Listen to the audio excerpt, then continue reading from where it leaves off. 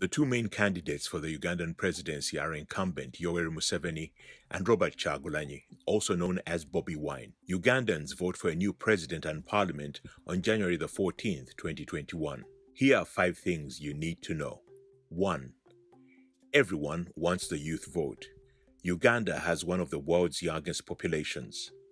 75% of people there are under 30. Young people are becoming more and more politically involved, and with that, the race to win the youth vote intensifies. Opposition candidate Bobi Wine is promising change from the top and saying he will amplify the voices of the nation's youth.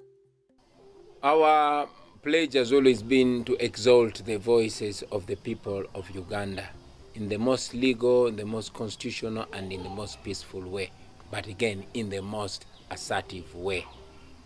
On the other hand, the incumbent president, Museveni, is offering stability as the country's longest serving leader of 34 years. His slogan, Securing Your Future, promises a stable Uganda to the nation's young people.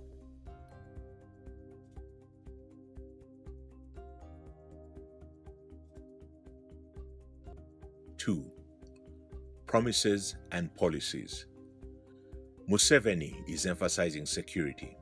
He wants a strong army to ensure that Uganda is a powerful actor, geopolitically speaking, in East Africa. He also wants security at home, focusing on the safety of homes and businesses. Bobi Wine is campaigning for a more inclusive, representative rule which could draw in groups who had previously been marginalized such as ethnic minorities and working class people. He wants to create jobs for young people who currently face drastically high levels of unemployment and underemployment. 3.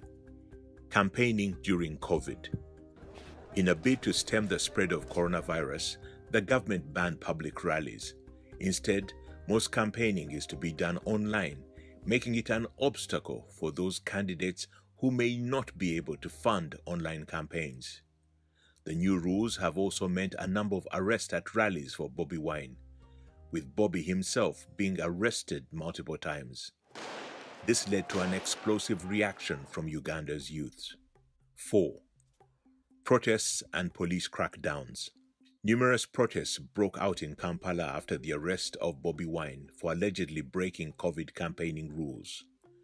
The unrest resulted in over 50 deaths, with Bobi claiming the police tear gassed his supporters and tried to assassinate him. The police deny this. 5. Regional impact of the elections.